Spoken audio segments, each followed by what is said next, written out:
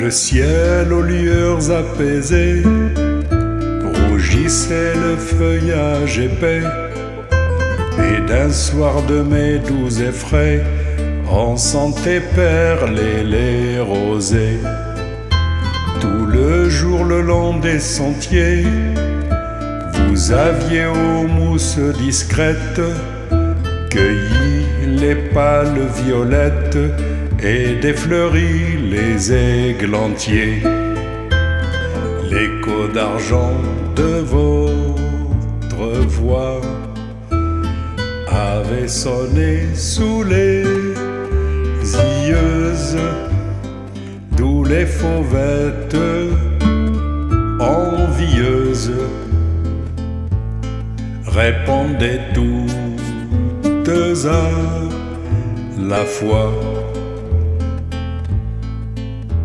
Et rien n'était plus doux au monde que de voir sous les bois profonds vos yeux si beaux sous leurs cils longs étinceler bleu comme l'onde.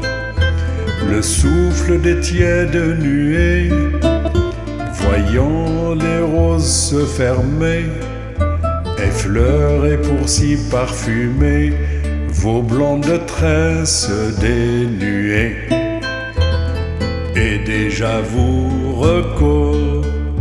reconnaissant à votre grâce fraternelle, l'étoile du soir, blanche et belle, s'éveillait à l'est pâlissant. C'est alors que l'as indécise, rosé le sein tout palpitant, vous vous blottîtes un instant dans le creux d'un vieux chêne assise.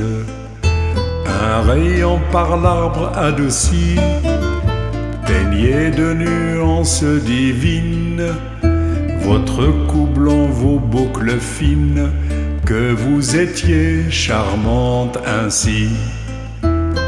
Autour de vous les rameaux frêles, en verte corbeille tressée, enfermez vos bras, enlacés,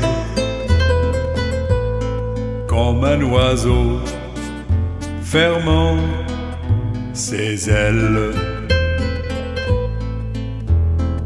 Disais-tu qu'il est un jour, loin de la terre natale, la Vierge d'une aile idéale s'envole au ciel bleu de l'amour. Qui sait l'oiseau sous la feuillée? Hésite et n'a point pris l'essor. Et la dryade rêve encore, un Dieu ne l'a point t'éveiller.